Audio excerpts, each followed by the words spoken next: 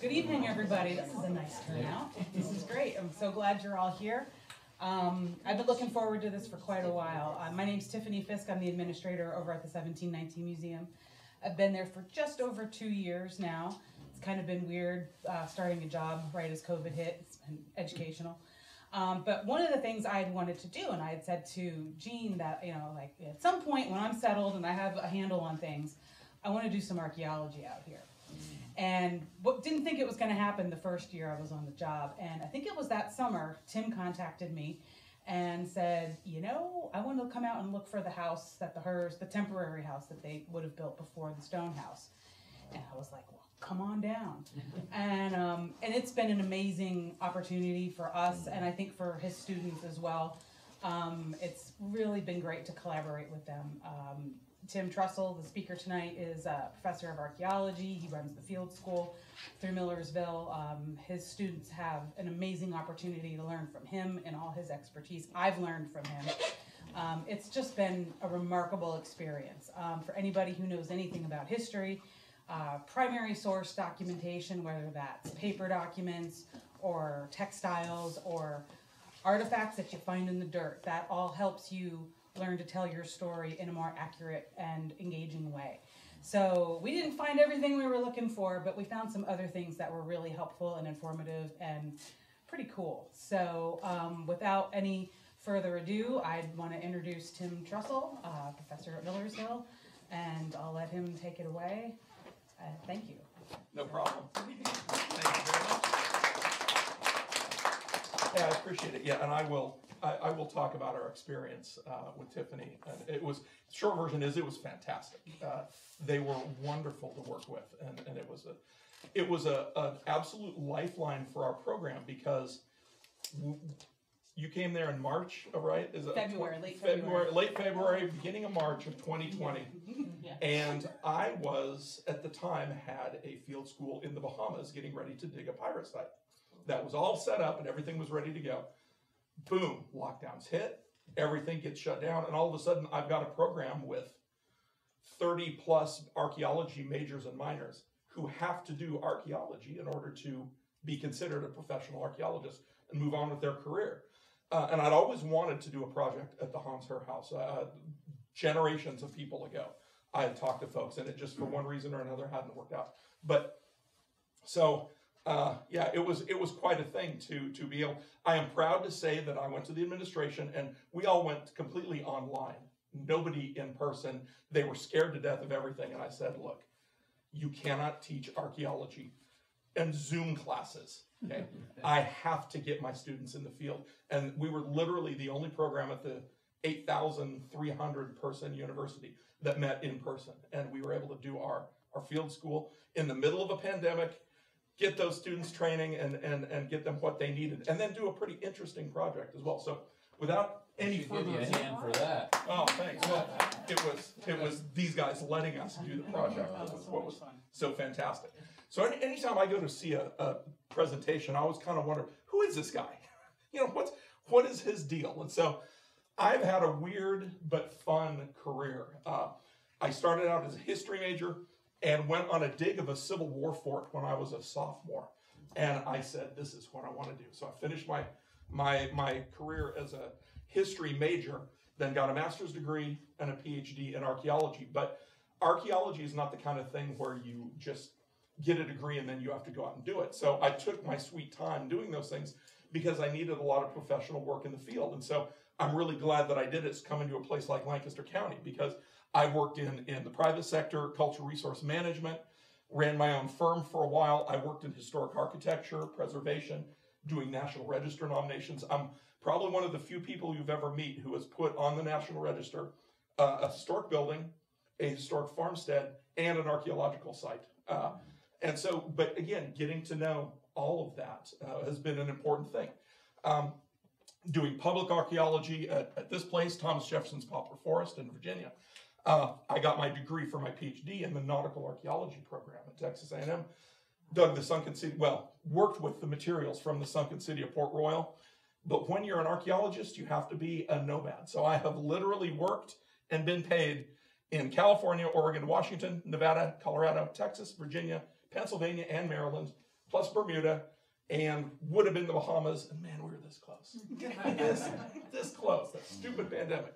But anyway, so that's sort of my background. But I came to um, Millersville in 2004 and determined that, that this place, for reasons I will get into in this lecture, is an absolute gold mine of archaeology and history. It's, it's astounding.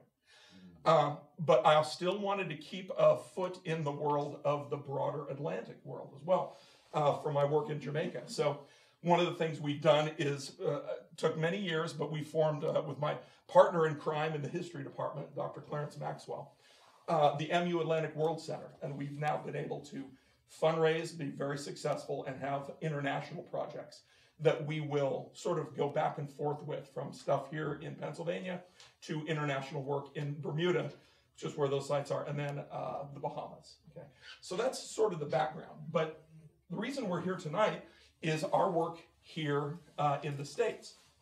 And for, I guess, the last 15 years, I, I started a entity mainly for fundraising and research called the Lancaster Colonial Settlement Project. And through that, I've been able to excavate or study almost two dozen different sites uh, in Lancaster County over that time. Uh, everything from Rock Ford to Elizabeth Furnace, the Mylin Gun Shop, uh, the Haldeman Mansion. Um, there's a place that we term the Surveyor's House that's uh, right here on uh, 736 Strasburg Road. And we were out there digging when the Google Earth Street View car drove past. so if you, this is what you see. If you go to Google Earth Street View, 736 Strasburg Road, and you dig to the right, you'll see my students digging big holes in these lovely people's yard. Uh, digging things up. And of everybody on the crew, only one guy, he noticed and realized what it was. Yay! As it went past, all the rest of us were clueless. But, but why was I so interested in, in coming to Lancaster County and doing archaeology here? I think the Lancaster County is by far the single most underappreciated historic resource in America. And I don't think it's even close. If you look at cultural geographers, you look at linguists, and they trace patterns of development through time and space. They work their way back to just three major culture hearths. Now, that's a cultural geographer's term that basically means an incredibly important site of early development where patterns and lifeways are set for the first time. And from that culture hearth, things spread across time and space. Okay. Now, the other two you know about. Here's Jamestown in Virginia, 1607, the first English colonial settlement in the New World. You have the Pilgrims and the Pure, at, at, at Plymouth Colony uh, and Massachusetts. But if you look at where these people's ancestors went, there's a third culture hearth. Now, one of the reasons it gets less attention than the other two was later, you know, uh, 1782, uh, William Penn. But if you'll notice where everything's branching out from, that ain't Philadelphia. That's Lancaster County. Okay. And it's something that it shocks me the people who live here and grew up here don't know. I grew up on the West Coast, and all of this, I, I'll never forget. I took a trip, uh, and we literally drove through Strasburg when I was 21 years old and a young archaeology student, years, decades before I ever got here, and thought, oh, if I could just dig in this place, this is, this is amazing. This is awesome. But the reason that it's so important is something that I think is very much overlooked, and I'm going to talk a little bit about that tonight so that you can see why I get excited about these things. Lancaster County is a freak of nature and it really is. I remember when I first got here, I went to a talk by a guy who was an ecologist, like a historical ecologist. It was a strange thing, but basically, he argued that if you were an alien spinning around planet Earth and you wanted to find the most fertile, non irrigated agricultural region anywhere on the planet, place that gets regular rainfall so you never have to irrigate, fertile soils and a long growing season, it would be Lancaster County and some valley in China. And that's oh it. I mean, literally on the entire planet, this is where you would choose to go. And because of that, there's an interesting development trajectory that took place accidentally. Nobody planned it this way. But all of these things basically meant that 18th century farms here were outrageously successful. They produced enormous amounts of food. They were easily able to feed their families. They had a hard freeze in the winter, which meant that things like fevers that would take out large amounts of the population in southern colonies would burn themselves out as everyone was indoors and as, as these things can't survive in cold. So you have almost perfect conditions for population growth. Okay, so people here had enormous numbers of kids survive to adulthood. That was not the case even in Massachusetts, which is famous in the literature for being very healthy and having large families. Lancaster County was bigger than that. But the problem was it was so good, basically all the decent farmland was already taken within 15, 20 years. At least it was all platted. It seems that about 100 to 150 acres was the minimum size for a good working producing farm. So after a certain amount of time, you had large families and only one, you couldn't keep subdividing the farms. So what do you do? Well, you're making a lot of money exporting all this grain, shipping it to Philly, they're shipping it throughout the Atlantic world. Everybody's making money. So you had enough money to equip your children to be highly successful pioneers. And that's basically what they did. The upshot of all of this is that from 1740 onwards, people whose values, whose agricultural practices, how they were taught to farm, how they were taught to build a barn, how they were taught to dress, how they were taught to interact with others, how they were taught to get along with different peoples because you had Irish and English, Native American, German, Swiss, Mennonite, you had a couple of French. These were folks who learned how to get along with people, knew their business real well, trained their kids well, and then equipped them with a Conestoga wagon, Lancaster County long rifle, and a bunch of goods and said, be successful.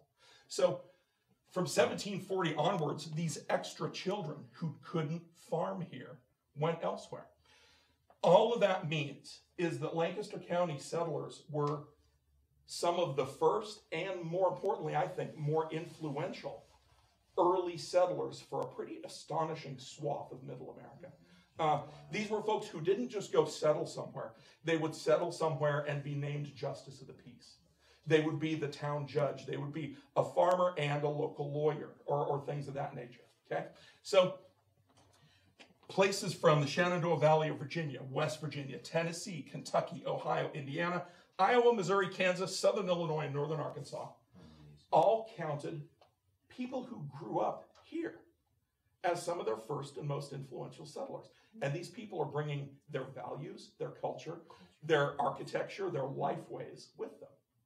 So I've argued to my students, and I will argue this to my dying day, I don't think there's a single county in all of the United States that has had a bigger developmental impact on the character of the nation than this place. Mm-hmm. It's truly remarkable. I mean, it's it's it's literally unprecedented. Okay, so if you ask why I get excited about these old buildings and things, this is why. Okay, because here's the deal.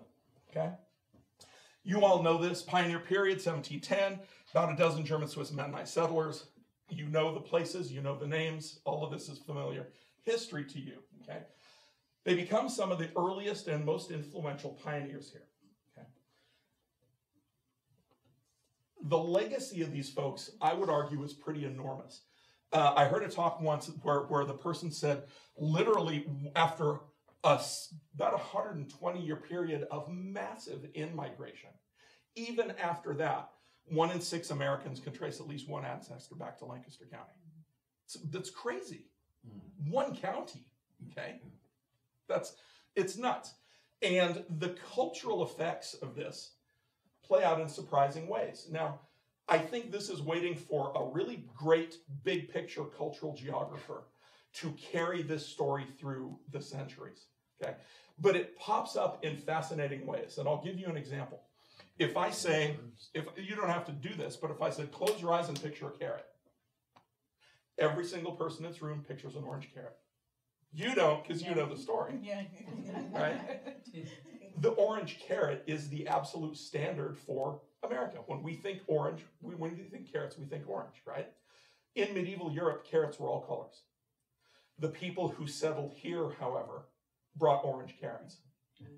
And they passed those on, they passed those seeds on. William Woys Weaver, uh, the great food historian, was the first that I know of who noted this.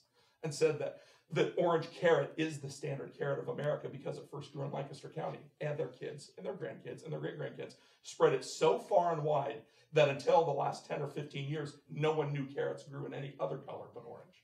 Okay? Carrots are just one. Okay? Here's your multicolored carrots that we now grow because they're fun, but 15, 20 years ago, nobody did. Lancaster County Bank Barn. Everybody in this room sees that and knows exactly what it is. But that happens to be in Middleburg, Virginia, where people who grew up in Lancaster County went there and they built their barns. It's exactly the same as here. So, all of this is to say there's funny little things that get spread far and wide. People bring their foodways, they bring their architecture, they bring their culture, they bring their slang. If I said, hey, my buddy got married and everybody's going outside to have a stogie, everyone here would know what that is. You know why? Because in Philadelphia, the hand rolled tobacco short cheroots would come in Conestoga wagons from Lancaster County and they called them stogies. Mm-hmm. Exactly. The two most iconic pop culture images of the pioneer, John Wayne in the Big Trail, are the Lancaster County long rifle and the Conestoga wagon. The westerns all through the 50s and 60s and 70s were built on these two iconic things, both of which were invented in this one county. Okay? So, you know, between that and the stogies and the barns, uh, all of these things basically go to show that there is a tremendously outsized influence that the people here had on the development of, of, of a pretty astonishing chunk of middle America. Okay. Uh, I particularly like stogies because having grown up on the West Coast and having heard that term my entire life, it blew me away that having moved to Lancaster County, that's where this was invented and that's what it, it, it references, basically. Okay. So, to sum all of this backstory up, okay, this place was an unusual, influential contributor to cultural development, and there is something called the pioneer principle. Now, this is a, a thing that archaeologists, historians, geographers borrowed from basically biology. And what it was found is that if you have a, an island in the Pacific, shoots up, volcano, suddenly there's an island where there was none. Whatever forms of life happen to make it there first will suddenly take over, and everything that comes after must be in relation to that which is already there. So those early colonizers become extraordinarily influential later on. This is why a tree uproots, has little tiny lizards, floats, hits an uninhabited island, and those things eventually evolve to become mid-level predators because there's no coyotes, there's no foxes, so they become Komodo dragons because they got there first and there was nothing else. The pioneer principle suggests that whatever happened earliest is extremely important for everything that comes later because it all has to be done in relation to that. It's not to say there's not culture change, there is. But all of that cultural change and development through time must take place in reference to that which is already there, which gives us a bit of a problem. Because when it comes to what were the cultural practices, what were lifeways like on a detailed level, these folks were pioneering. And I realize that they're probably most of your ancestors, but they don't seem to have been the most talkative people. In we don't have a lot of chatty diaries from the early Mennonites, okay, telling us all these little details. Okay? So what do we really know about them? We know the crude, obvious facts of their lives. We know when people were born, when they died, who they married, what their kids were, and who owned the property. And if they happen to get sued, we might know something about the court case. And that's it. What we don't know are all those little things we really want to know. Did they bring, we know with carrots they did, but what other agricultural practices did they bring from the old world or what did they invent anew? Where did they get their, their ideas of foodways? How did they learn to interact with people with something they made up on the fly on the frontier where you can reinvent yourself? Or were these older cultural antecedents? There's a thousand things we don't know about how these people lived in the very earliest days. All of that is to say, that's why when I got here, I formed the Lancaster Colonial Settlement Project. And our long term goal is to study as much of that as we can. Documents we pretty much know what documents there are, and I always have hope that something is going to be discovered that we don't know about. But really, I think it's archaeology that has the best potential to give us new information into those early days, okay? So let me give you an example, and I'll just go through this quickly. I know some of you have seen some of this. Um, we know where their tracts of land were. Problem is, those things are 400 to 1,000 acres. We don't know where their houses were on those tracts of land, okay? But this is an example. I spent a good 10 years doing excavations and failing to find an original settler's cabin. I, I mean, I could go down this list of properties that I looked at, did great projects, found some interesting stuff, but never once found an initial early settler's cabin. Until we got here to this particular place and we dug in their backyard and boom, there it was. It was a it was a very wonderful thing. Okay. Hans Graf was just a couple years after the very first folks in 1710. He was in 1714, patent proved by 1718. Uh, he appears to have homesteaded this tract on behalf of his daughter, Ruth Souder. Okay. Because after he spends about five years there, gets the farmstead up and running, he goes to what is now Groffdale and, and starts what is now sort of traditionally known as the Groff family homestead. But he did it here first, and I always wonder if her husband, this is just speculation, no, no, no, no. But it's an odd thing that he would come here and homestead for four or five years and get things up and running. I wonder about her husband and if he had health problems because he died early and they only had two children, which was both very unusual for people at this time. Again, I don't know, but I'm putting two and two together because it's very odd that a man at this time would go and homestead, settle his daughter and son-in-law there, and then go off to do what he really wanted to do, which is establish his his family seat. Okay, regardless, uh, they bought the tract from him in 1719. 20 years later, they sold it to her daughter Mary and her husband John Rohrer, and it stayed in the Rohrer family for over 100 years. But it's passing through the same family, just the matrilineal line, not the male line. So we went out, uh, 2015, began archaeological testing. Uh, my wife, thankfully, uh, was very, very dear friends with the property owners. She know them, knew them from, uh, knows them from Rock Ford. Um, I will not tell you exactly where this, this tract is. Uh, I promised the owners that I won't make that a big deal. Uh, but I will say that her husband was fantastically supportive and yet constantly yelled at us for digging big holes in his yard. and, and he called us vandals, actually. Every time we'd see him, he'd call us vandal for, you're here to desecrate my yard again. And what was interesting is the topography there was very different than most sites I've dug in Lancaster County. Most of the homesteads and farmsteads that I dig here, you go down 12 to 18 inches, that's the plow zone, and at that point you hit natural undisturbed subsoil, hmm. the underlying clay that is below any human disturbance or occupation. This place, however, they had filled in the land around what was once a spring drainage. So we actually, this pit got seven feet below ground level. And the thing you're seeing here is a 18th century retaining wall that is like six and a half feet below ground surface. So, and fantastic stratigraphy, very well preserved. Okay, so that was really quite exciting.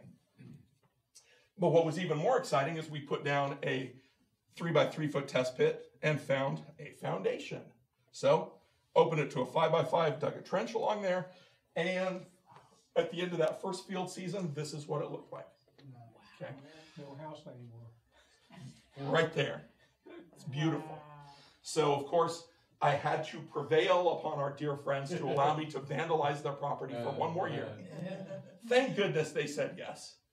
Uh, we knew it was something like this because right along that exact line, I put this here so that we could see how long it was, and they didn't find it. So I knew that that wall had to be just inside that unit. And so this is what it was. And at the end of the 2016 field season, this is what we got. The first archaeologically, the first and only archaeologically documented original settlers cabin in Lancaster County. Uh, to me, this is this was a holy grail because I'm not joking when I said I did probably eight different field seasons in the 10 years before I found this, looking for something like this. So to finally find it was really quite something. Uh, tell you a little bit about it, but it was really uh, interesting. One of the things is you'll see wall, wall, wall, and then this north side has this gigantic opening. And then, very quickly, there's a little crude stone wall to close it off. From here to here is seven feet wide. You don't need a seven foot wide opening to walk in and out, but you do if you want to keep your stock in there. And it turns out that there are really good uh, old world antecedents for the German Swiss Mennonites where they would sleep with their stock. And there was, I did one of my earlier failed attempts was at the place called the Franciscus Carpenter House uh, over right next to the school. Uh, when that was in trouble, we went over there and did an archaeological dig and then used the dig to try to get the school board to help preserve the house, which they thankfully eventually did. That thing was, was kind of touch and go for a while. But there is a family story that I wrote off as being apocryphal, where it said, uh, you know, they were there and the man was there, Christopher Franciscus, and his daughter were working in there one morning, and the building was three walls with skins hanging over the opening, and a wolf came in and bit the man and fought him, and she was able to stab it with a kitchen knife that was sitting there, and it ran away. And I thought, okay, sure you did. But this description of a building with three walls as the pioneering building kind of stuck with me. And I thought, you know what? Maybe there's something to that. When we found this, I think that's exactly what they did. I think in that very first time period, these folks built this as a very simple, thin foundation. I'll show you a different picture here in a bit. A wide top so that they could keep their stock there before they even built the barn. There wasn't a lot of, of organic deposits, to put that simply the cow wasn't pooping on this floor for very long. Mm-hmm. So I think they did that for a short period of time, built their barn, got the cow the heck out of there, and then they built a little thing, closed it off, and probably had a more human sized, about three, three and a half foot door here. Uh, but nonetheless, I think that's very interesting. Um, this was our excavation map. Now you'll notice that there was this big brick fireplace here. And you'll notice that it's not at all aligned with the house. What we wound up finding is underneath and this and in the foundation was whiteware, which wasn't invented until 1820. So this is a outdoor bake oven that was placed there once this house was gone. The walls were gone, and they they may or may not have even known it was still in the yard. But whatever it is, they just plopped this down. Then, of course, the two water pipes were dug right through the middle of it, but it nonetheless left all of this. I was excited for a while by this wall, but it turns out that's an early 1800s uh, wall of a fulling mill that was on the property. Had nothing to do, it was 100 years too late for Hans Graf. So here is, is our excavation with our students. It was a fantastic two-year field school, and now we had something interesting to work with. And another interesting thing is right in front of this opening, you can even see it here the soil was burned so much that it was discolored.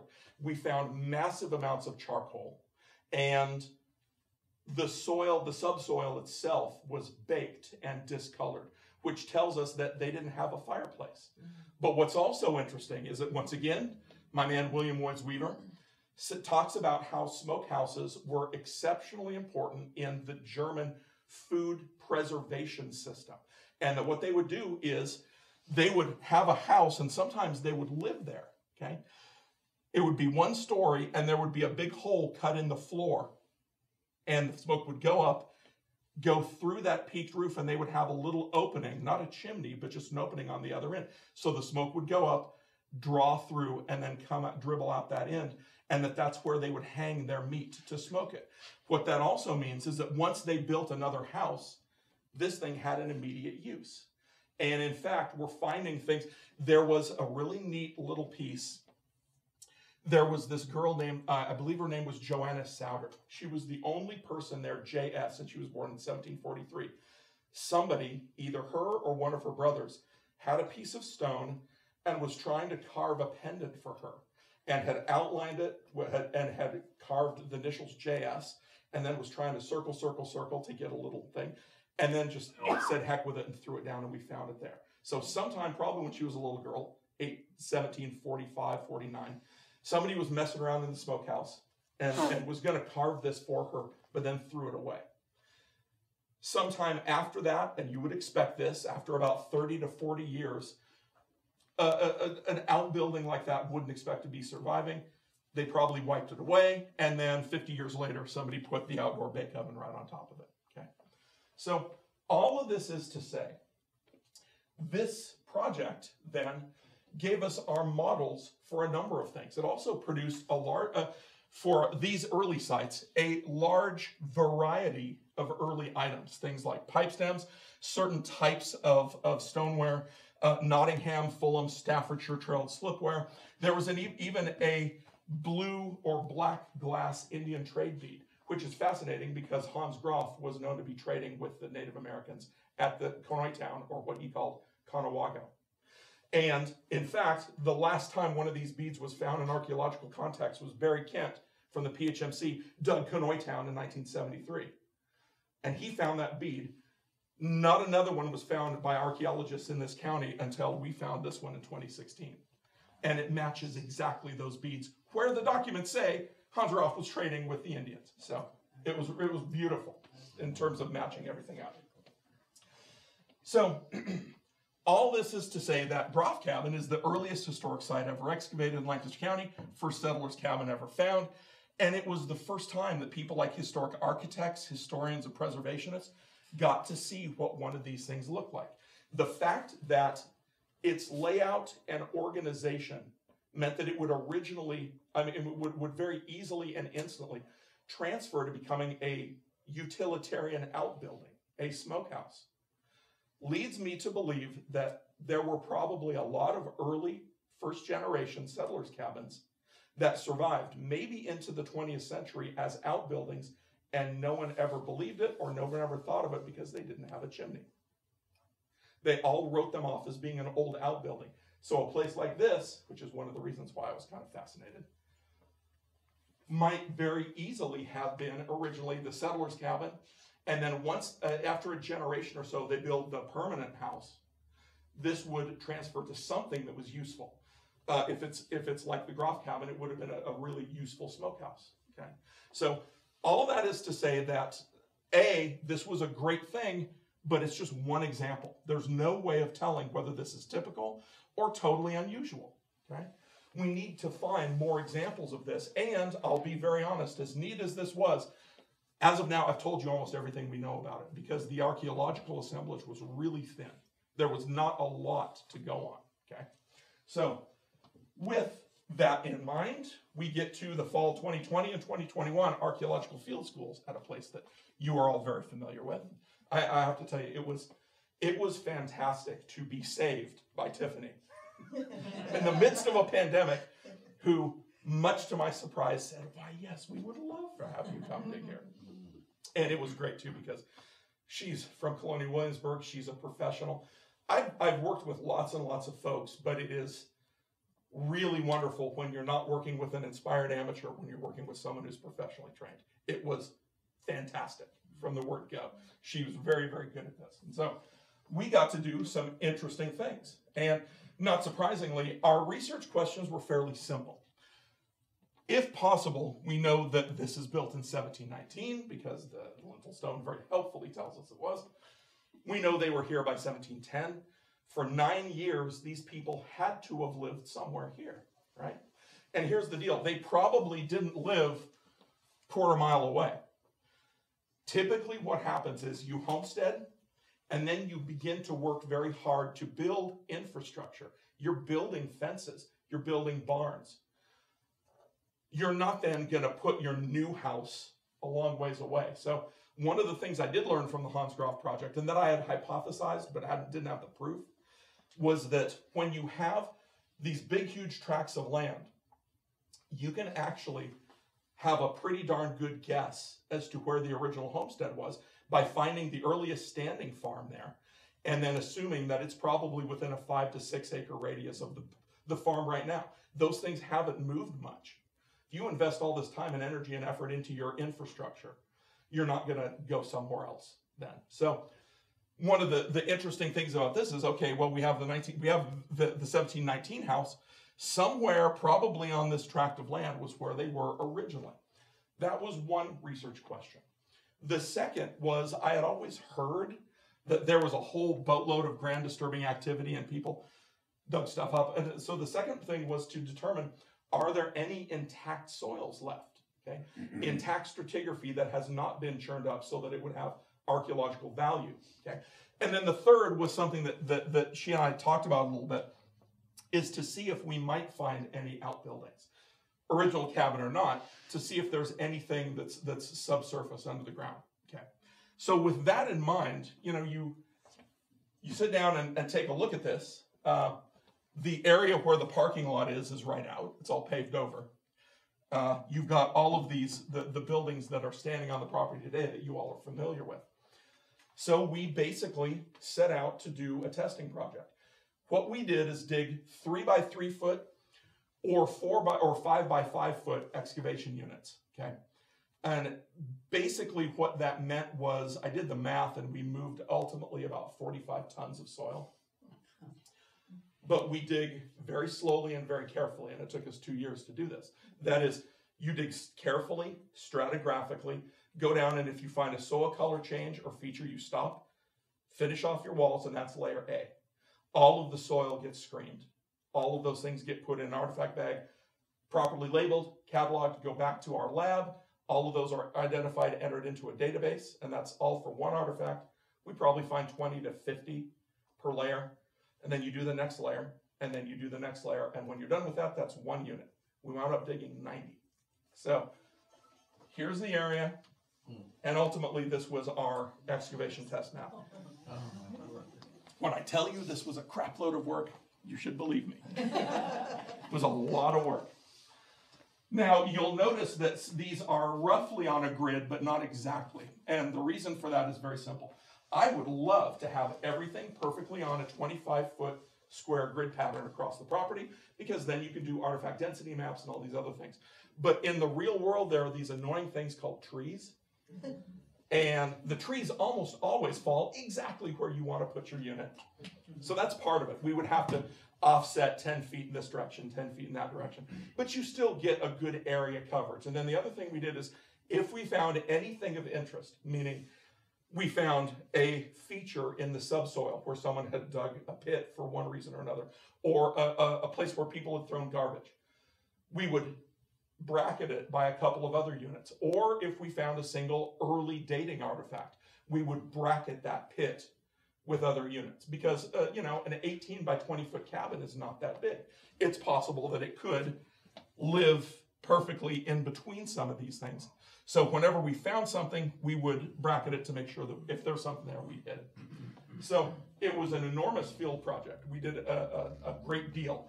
And in the end, I feel like we did an excellent job. I think we we tested all of the areas that needed to be tested, okay, across the the the, the property. So again, two by two and three by three pits. Some of them, uh, especially here and uh, next to the house, are were five by fives. You might be wondering, well, it's the house. Why are there these big? Why wouldn't you want to dig right in there? And my answer would be, I would have loved to dig there, but other people dug them first. Yeah. There were a series of archaeology projects, um, better or worse, that came in over time and basically dug out all of that stuff before I ever got a chance to see it. So, unfortunately, this area around here had been pretty much erased. And so that's why one of the reasons why we weren't able to concentrate on that. We had to go to the broader area uh, around the property. It was an excellent dig. We managed to work in a number of pretty cool little things. Uh, not only did uh, my students get excellent field schools in two years, we also uh, helped uh, Willow Street Troop 393 get their archaeology merit badge. I gave archaeology lectures to them we worked their way through the, the merit badge stuff, and then they were able to come out here. So even during the pandemic, I thought it was really neat that 1719 Museum was able to do a, a pretty important public service. And let me tell you, the kids loved it. They they thought this was just like the best thing. So it was it was multi-layered, but a really really good good experience. Um, typically, when we dig, this is one of our screens. It's quarter inch wire mesh on the bottom. So, and that's that's basically you don't want it too big because artifacts fall through, and you can't get any smaller than a quarter inch because then the dirt won't go through. That's that's so. But what that does mean is that anything that's smaller than a quarter inch will fall through. So there is a little bit of a bias of the sample, but nonetheless, I think we get 98% of what we, we need to get from these things. Uh, excavation went on from in the fall, from when we, we, we start, uh, end of August, September, and October, and then by November, the weather is getting bad. And so we finished up, transported to the lab, and our people worked with those artifacts. To date, we've got, I think our artifact count is somewhere around 46,000. Each of those is cleaned, labeled by hand, entered into a database on 12 different lines of evidence. And so, short version, what I'm saying is all of that information is going to be available to you folks. We need to get the, the final excavation report done, but basically a database of every item we found will be available to all of you. Because there's interesting history here that's not just Christian and Hans Herr era. There is an archaeological history of 250 years of people living on this site. All sorts of fascinating things. So all of that's going to eventually, uh, when we're finished, we're, the lab work is finished. It's just, and the, the, the, the artifact catalog is finished. It's just a matter of me finishing writing up our conclusions and our finds and giving some, I'll talk about them later, some sort of preservation advice for here's the areas where you can run a backhoe, it doesn't matter. Here's place where you really should stay away. So what we find? Well, uh, found these two fairly, we found a couple of broken ones, but these were the best, fairly intact projectile points. People have been living on this land for thousands of years. The one on the left is late woodland, and what's fascinating to me is this is a uh, uh, a jasper that is not native to Lancaster County, and in fact, it's probably Mississippian. So what that tells us is that maybe 800 or 1,000 years ago, this was a lithic material that was traded from its source in the Midwest from group to group to group to group until it made it here in Lancaster County. Mm-hmm. Lancaster County has really poor lithic material for making arrowheads, and so or projectile points is the, the proper term. And so the quartz here that they make, you can make something that works, but it's crude. It doesn't have a real sharp edge. So they would often really good quality lithic sources would come in from from a surprising distance, and we find some here. Uh, here's a transitional archaic point. This could be back as uh, probably as early as 5,000, but somewhere between 5,000 to 1800 BP. That's before present. Okay, so find these, and then I'm good. We, we found thousands of items, but most of them were things like rusty nails, broken glass, a little more broken glass. Here's a, a, a, a pipe from, from you know tubing that, that you do as plumbing. But I'm going to concentrate on just some of the ones that were able to be dated fairly early. Okay, this stuff really excited me, and I'm sure it doesn't excite you. That's okay. Oh, this is fantastic, Bill. You kidding? This is borderware. Borderware is, to me, kind of a legendary ceramic because this is a 1600s ceramic that you find on the very earliest sites of Jamestown and Plymouth Colony. The, in the 1640s, 60s, 80s. This is an old ceramic type. It basically went out of fashion around 1700 to 1710. So this is the only piece not only that I've found in Lancaster County, but that I know of that's been found in Lancaster County, period. It's literally one of these. Now, this may not, I, I try to help my audience because I get excited about this, and you think, okay. this is the kind of stuff that it would have looked like. So I'm going to show you the piece, and then I'll show you what these would have looked like. And I think this is a little more exciting. Borderware is classic. It is this neat overglaze that they did to make the pots waterproof. Okay? These are low fired earthenware ceramics that if you poured milk into it, the milk would suck into the walls of the ceramic. And then it would rot, and then it wouldn't be very good. So if you want to really use this, you need to put the glaze on there that makes it waterproof. And this was a very decorative glaze. And this is kind of an interesting thing. When people think of these early German Swiss Mennonites, I think we have this idea of their material culture being all pewter and redware and blase stuff. This is a, a pretty colorful ceramic for the time, and I'll show you a few of these. But it indicates to me that they were not adverse to having a little bit of color in their items. Okay, I'll show you a little bit more of this. Now, again, not very exciting. This is a piece of English white salt glazed stoneware. But, and, and again, uh, about 1720 onward. So this probably was 1720 to 1740 or so. But what's interesting to me is white salt glazed stoneware is traditionally considered a fine and expensive ceramic. And at the time, it was a showy ceramic. Again, we have this idea of these folks trying to, how would I say this, live a, a, a quiet and, and down to earth life and not showing off too much. But that doesn't mean that that has to apply to each and everything.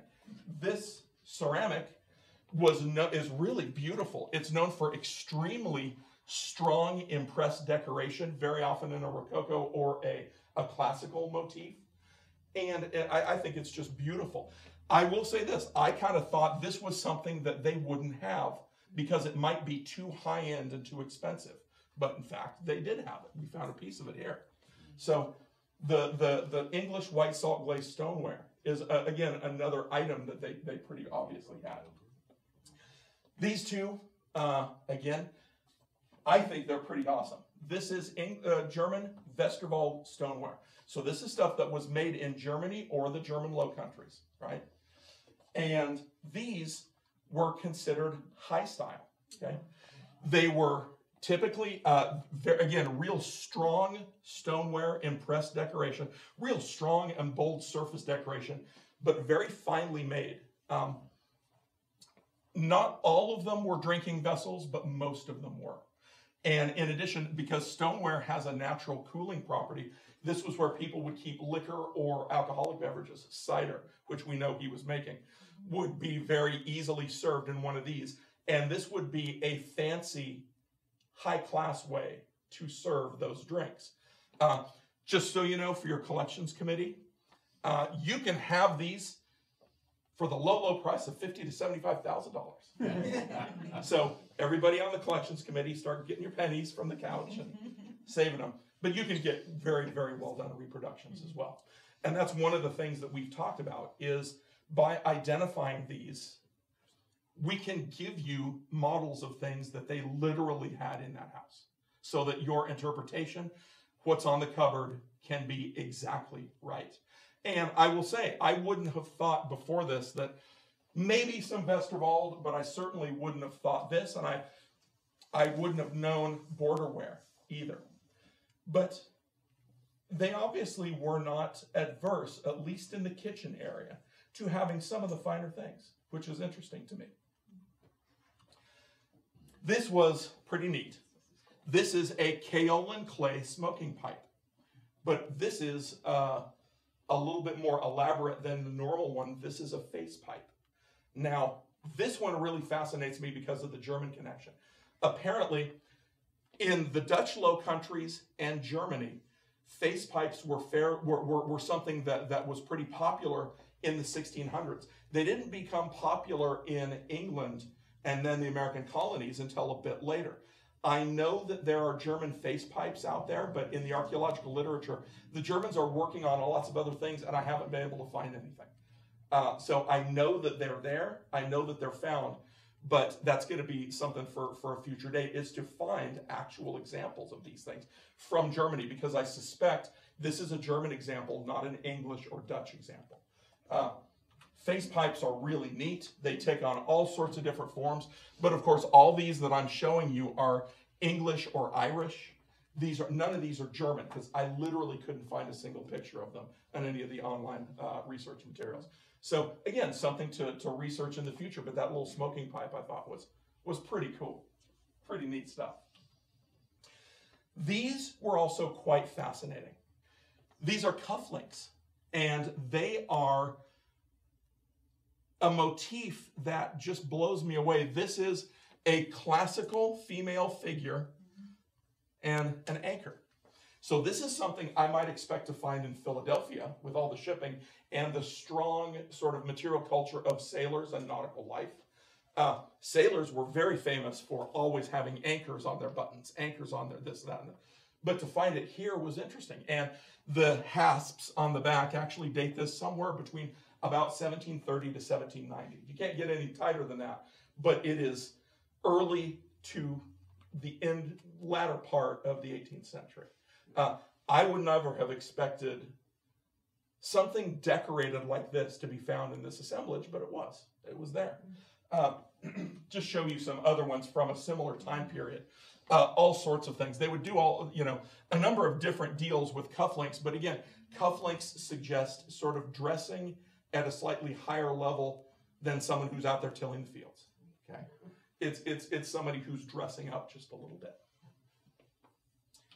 All right, uh, and then in terms of 19th century, I had a whole boatload and I didn't go through it, but I do want to point out that in terms of interpretation, people lived there who contributed to the community as well. You know, it's easy to get fixated on the earliest stuff, but we've got a whole boatload of things that you can look at in terms of possibly uh, interpreting. This is a hand painted pearlware dish. This type of edge decoration suggests what they would have called an Oriental style, uh, or, or you know, mimicking the Asian or, or Chinese export porcelain style of decor. Uh, you've got some red, white, uh, pardon me, uh, uh, yellowware. We'll do the yellowware first. 19th century yellowware bowl, pretty classic. And then, of course, white ware with red transfer print. This is post 1820, and the red puts this somewhere probably around 1830 to 1845 or so.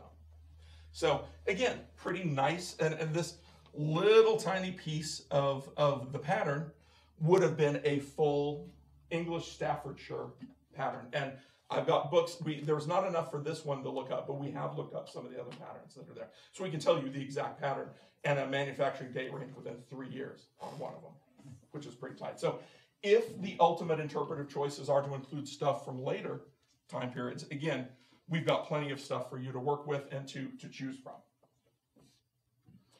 So again, uh, one of the values I think for the 1719 Museum is this is what you have now Many of these things are historically accurate. Uh, some of them, maybe not so much. Uh, but what we can, at the very least, add to that are things like this that we know for an absolute fact were there. Uh, yes, we did find Philadelphia slipware and even some Moravian slipware, uh, probably made in Bethlehem, 1740s, 1750s, which I would expect. And you have examples of this.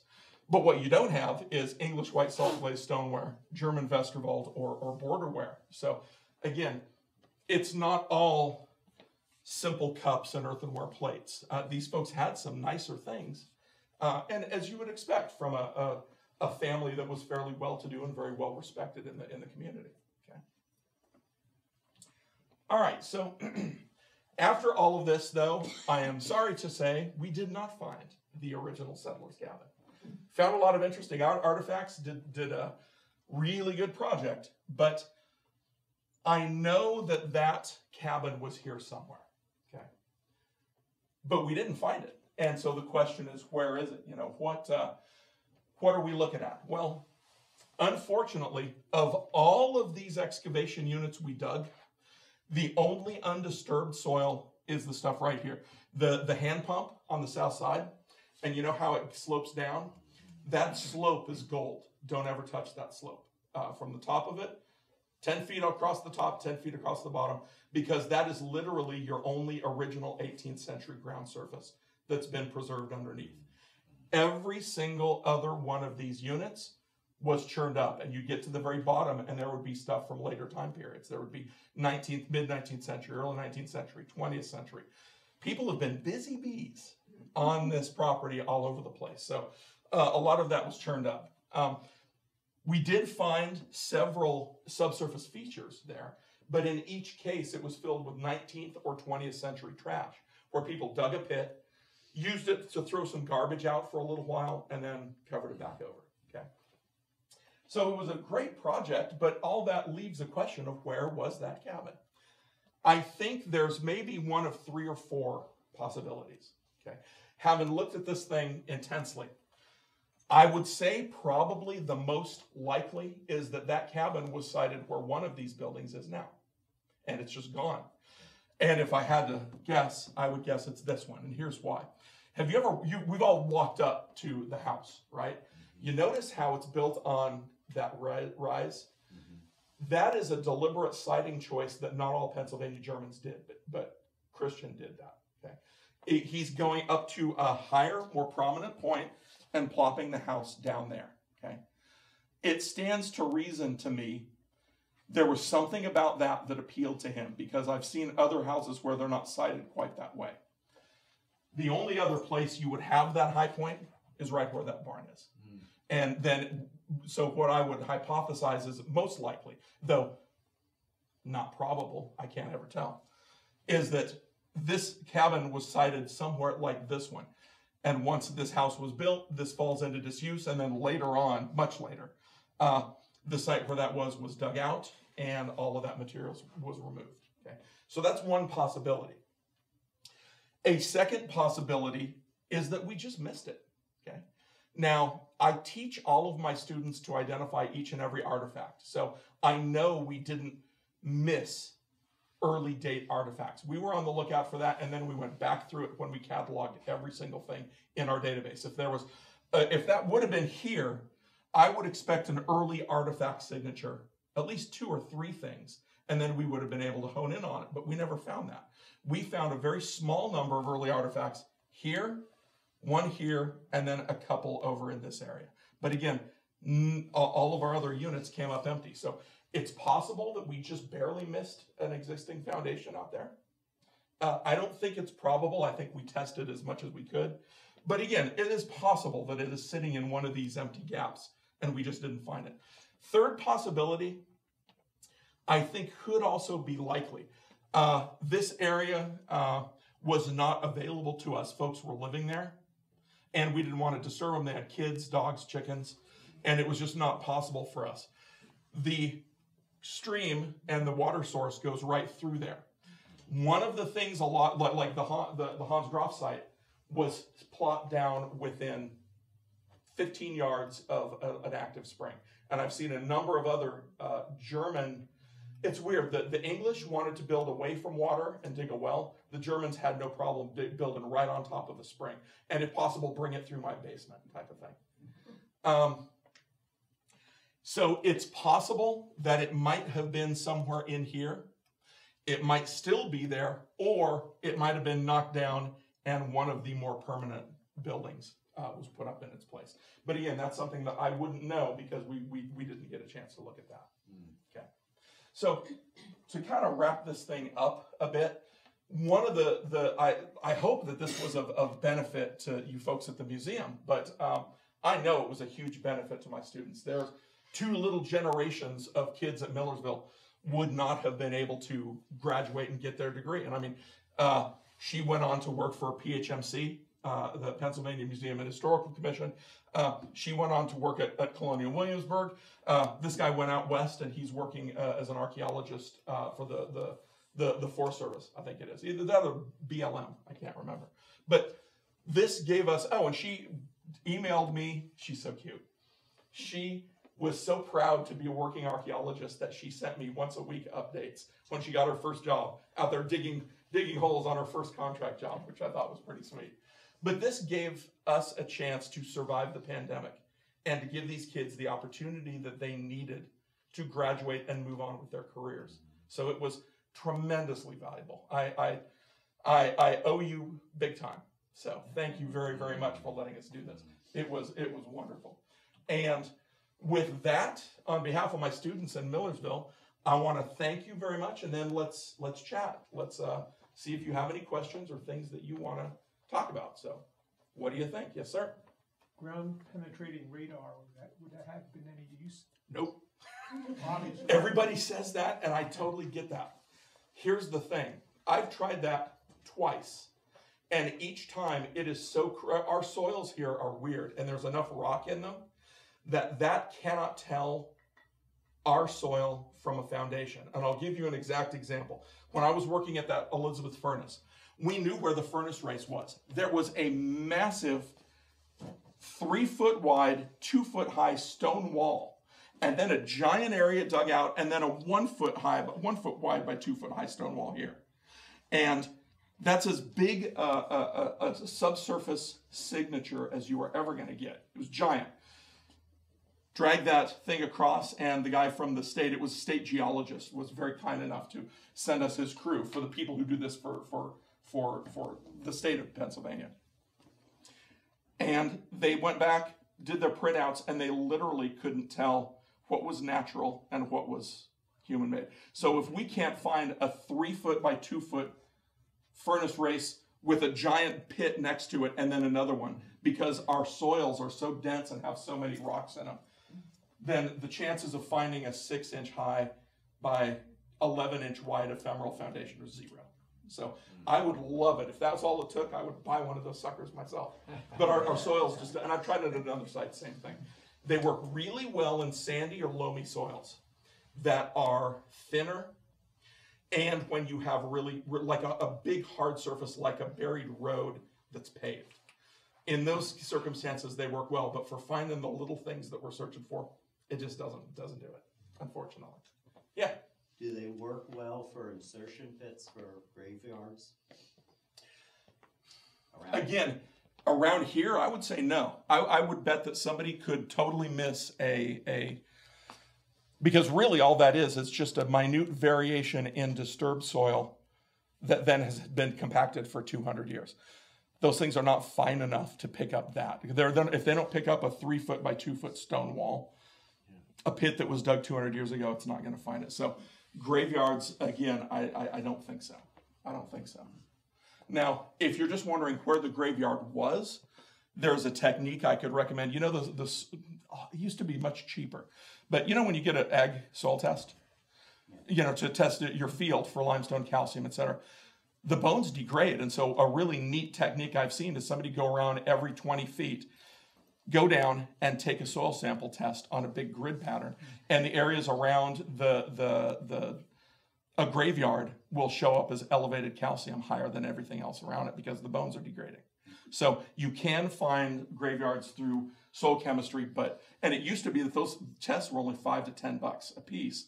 And you know, for a thousand dollars, you could survey a pretty good sized area. Now it would be insanely expensive. So I don't think I I don't know if that's viable, but I know that's a possibility. A good friend of ours was Amish. She died, she had good Amish and she had, you know, a very stark house. But she saved Lenox Christmas ware because she says, we can't have anything fancy, but I can have it in my dishes all I want. So she had the fanciest and the gaudiest dishes Yeah. that I've ever seen. So it explains why the, the woman would want something fancy and she could have it in her dish. It's even now. There's a well there and there okay, there's a real all right. I don't want to step too far out on this because I pound into my students, I say, look, we're not here to make up history. You have to make assertions that are based on fact or it's just guesswork. So take what I'm about to say with a grain of salt. Because be that as it may, I think we can't help but try to look for clues and then hypothesize what might have been. Understanding it's merely a hypothesis. Okay. Did you folks know that there were literally laws in place in the German Low Countries that said if you were of a certain status, you weren't allowed to build in stone? For many years, whether you had a wooden house or a stone house was indicative of status and was, uh, in many areas, was enforced by law. So when these folks came here, the fact that he built a stone house was really interesting. And it makes me wonder if, of all of the neighbors who all had wooden houses and continue to have wooden houses for quite some time, I think, if this was their way of saying, we're not in the old world, and there is no nobility here, and maybe we can do things we couldn't then. It's always been interesting to me that of all of those early houses, Hans Herr house survived because it was massively atypical. It was the only stone house. All of the other ones were built of wood. And again, what has been what has been hypothesized, I would say, in the literature is, well, this was their not wanting to to put themselves above the community, and it was an expression of their their low key leveling values, and all that may be true, or maybe that's how we want to see them. Maybe what was going on is they were just used to building in wood because all their ancestors built in wood because they had to because they weren't nobility. And those stone houses were reserved for the big people. And maybe a few of them, maybe the Herrs were one, came here and said, you know what? There's no nobility to come down on us. Maybe we should build a stone house. And if that's the case, maybe we should have a few nice things in the kitchen. Now, again, I don't know. And that's pure speculation, but I find it interesting to think about. He built an a they built a very atypical house that if they were 40 years earlier in Germany would have landed them in jail or had the house torn down because they were above their station if they built in stone. But you come to the new world, you get to make your own rules. And maybe this was one of those initial early forays where they said, we're going to do something different. I don't know, but I think it's fascinating to think about. Yeah. Um, Genetics, um, uh, mapping, has, has that at all useful going back? Not particularly because we basically have documents that tell us births and deaths and who was who was you know related to who. Yeah, So- so all that map of heading west couldn't be, Oh, I, I I don't think there's anything that the genetics would tell you that the probate inventories and and and things don't already. Um, uh, again, we know where they went and we know who were the early prominent settlers and that kind of thing just from the documentary record. I would think.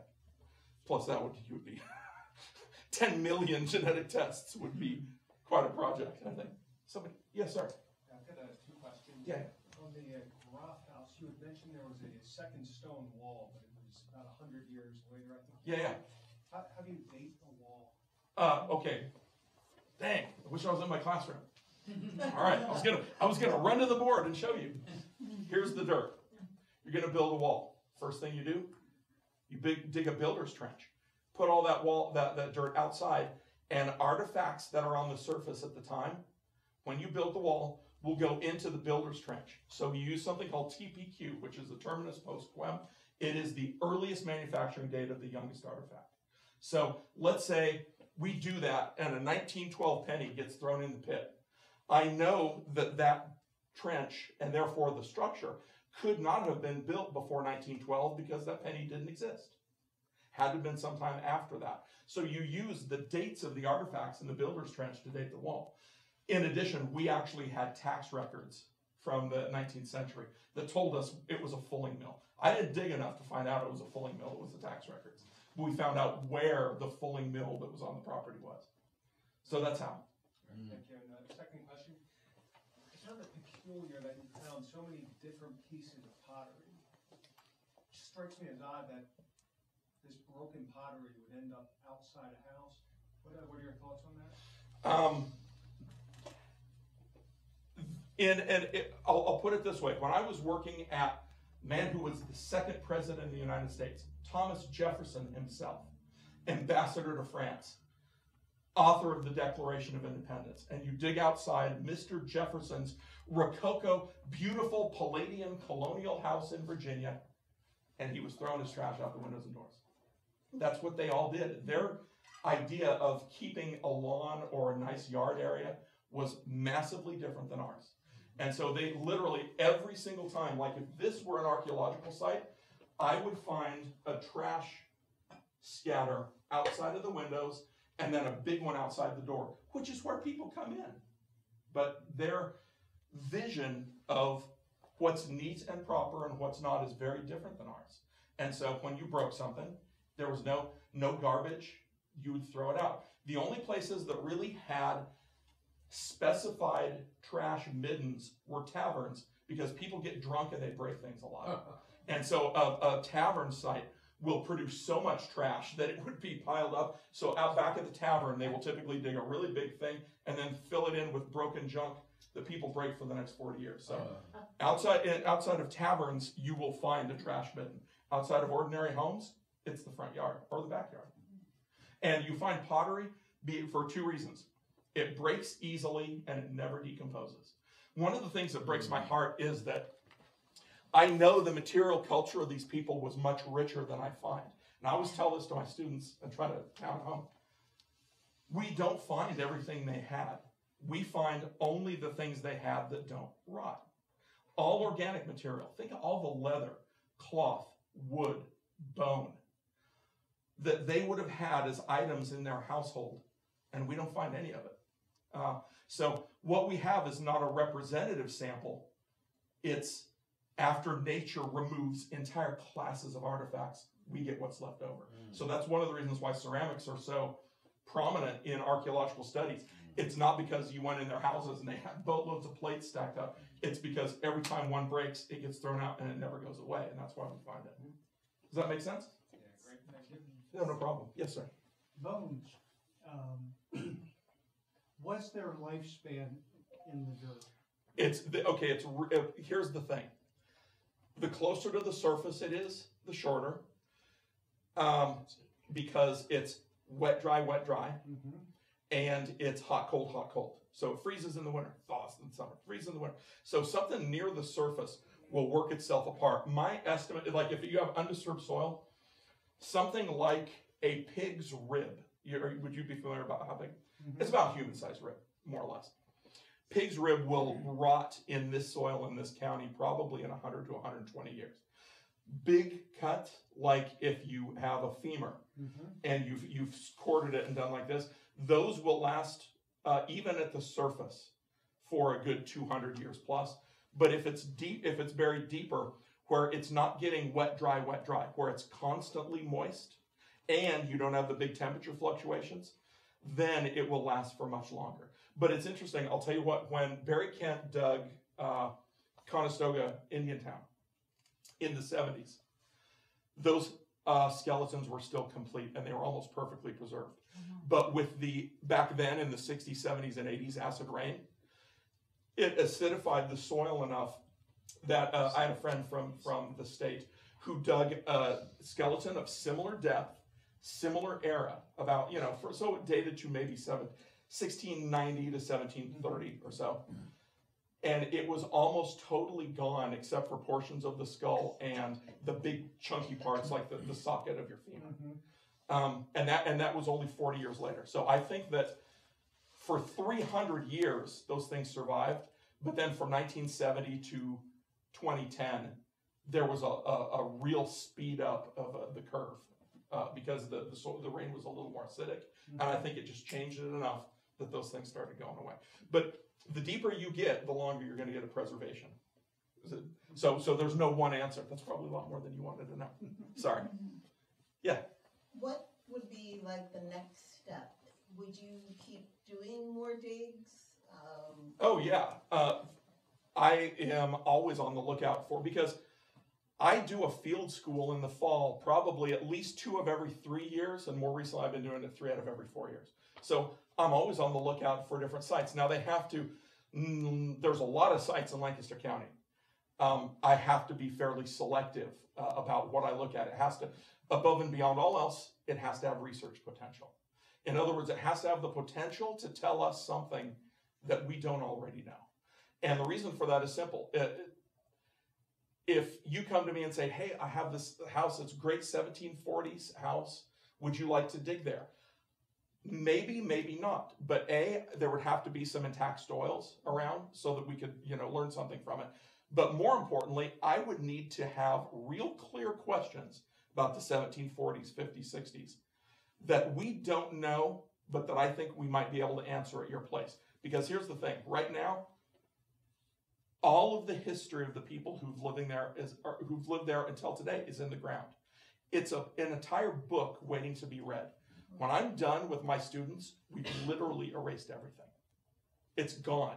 It's a big blank sterile area. And if you're going to erase dozens or hundreds of people's lives, you better have a damn good reason to do it. So I do not dig unless there's really compelling research question that outweighs the fact that when I'm done, I will have erased all these people.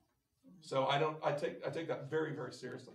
So there's tons of sites. The best thing you can do is save them, preserve them, because just because I'm one guy, just because I haven't thought of something doesn't mean a really smart kid or brilliant researcher isn't going to come along five or 10 or 15 years and realize this is what we should have been thinking about. Oh, and by the way, we can go there and dig and we can answer that question. Does that make sense? Uh, we were talking about pottery and dishes and shards, and, uh, many of us know of Clark Hess, who had the Yeah. seventeen forties log house at Lititz. And he had in his Dutch cupboard, in his dining room, he had seventy-five different kinds of shards that he found around, outside the window. And then he bought at auctions dishes to match. To match all of those. pieces. A man, yeah. I had the privilege to meet him when I first came here for, for and, and I just thought the world of him. Um, But the point is, that I'm trying to make, is that there were seventy-five different types of things that he found out the door, out the window. In in uh, my lab class that I teach. We te- uh, I teach the field school and lab class together. It's nine credits all day, Monday, Wednesday, Friday, for the whole semester. And for the lab class, the first thing we do for the first five weeks is I give them a list of artifacts that they have to be able to date and name the type, like creamware, pearlware, borderware, English white solid stoneware, and off the top of their head, give me the date range of manufacture. I make them memorize it. and Then they memorize these, and then I give them another one and another one. And when they're done, you know how many ceramic types they have memorized? 74. But when my kids are finished, they should be able to. You know, not all of them are able to do this, but they should be able because that's it. I mean, you go from the colonial period to now and take the most common uh, ceramic types. I think 74 or 75 is a low number, really. And but and yet it's astounding, right? That's that's a huge number of types and ranges and colors and wares and time periods because you're talking late 1600s all the way up to the 1940s or 50s. Yeah. So, yeah. When you, I don't know if it was your first season or your second, um, and I found out from Tiffany that you were doing the dig. I don't know if I asked her or she just volunteered that you found at the time what she thought, you thought was a piece of lead came from a window. Was, do you remember that? That's right. That was one of the things that didn't make it in here, but yeah, and there were a number of them that I, I wondered about doing that. But yeah, you know, and this is kind of interesting. If you ever go to some of the older, well, not go to or look online, some of the older 1600s houses in the best preserved ones I'm familiar with are in England, okay, but Germany would be the same thing. And they would have windows, but those windows would be diamond panes, right?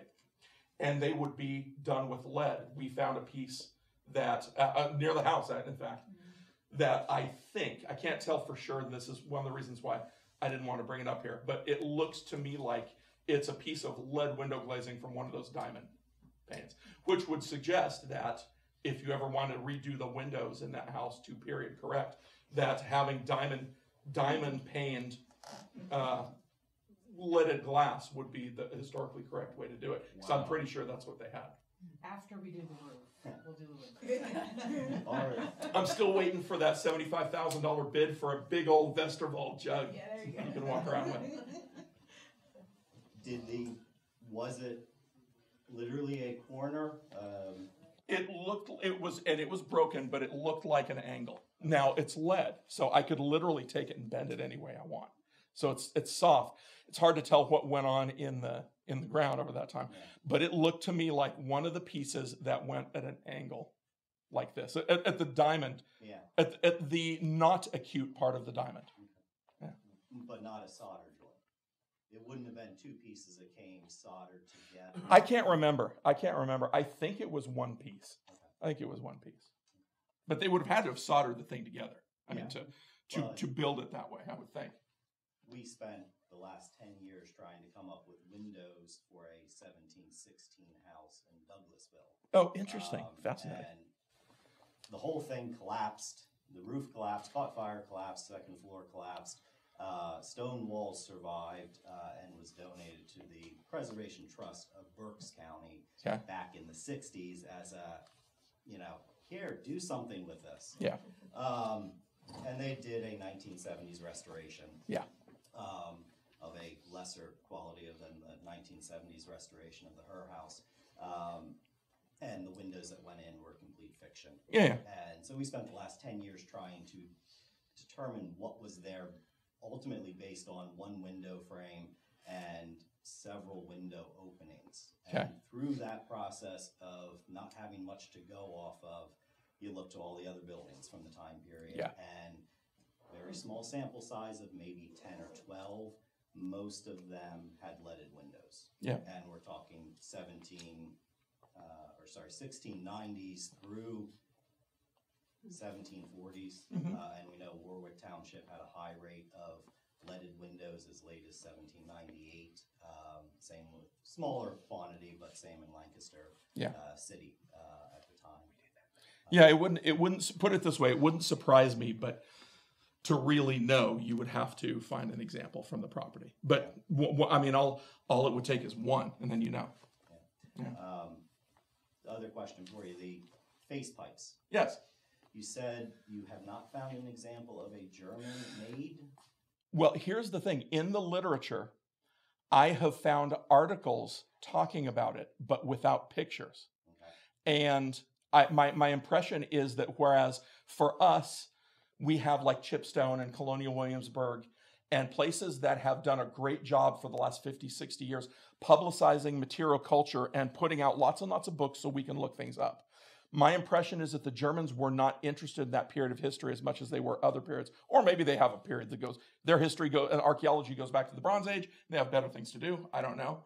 But I couldn't find any readily available comparative pictures on the internet and i couldn't find any i couldn't find a single german language publication of the historical archaeology from the 1680s showing face pipes which is maybe that's just like so niche and specific that nobody has bothered but i have heard i've read references in their reports had somebody because i don't read german uh, that references face pipes and my impression is that it was a culturally common thing, maybe more common than it was in England or the Dutch Low Countries. Uh, but, and it was certainly, I think, earlier. Okay. So the date of that pipe would match up nicely with, with these folks. But again, I can't prove that it was German. I just have a suspicion because the face doesn't look like the English examples, and it's a it would have been earlier based on the pipe stem diameter. Would have been earlier than those things. They got they got much more prominent at a later period in in the American colonies.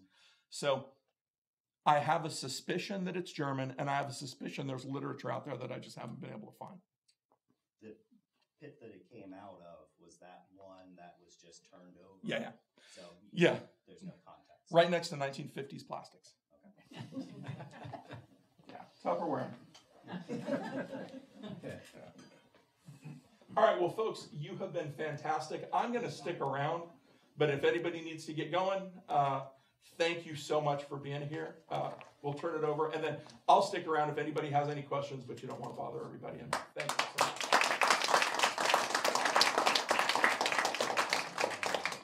Hi, I'm Jean Kilheffer Hess. I'm Executive Director of Mennonite Life, and I want to thank all of you for being here. The reason we can do what we do in the local community and beyond is because of you and your support. So thank you.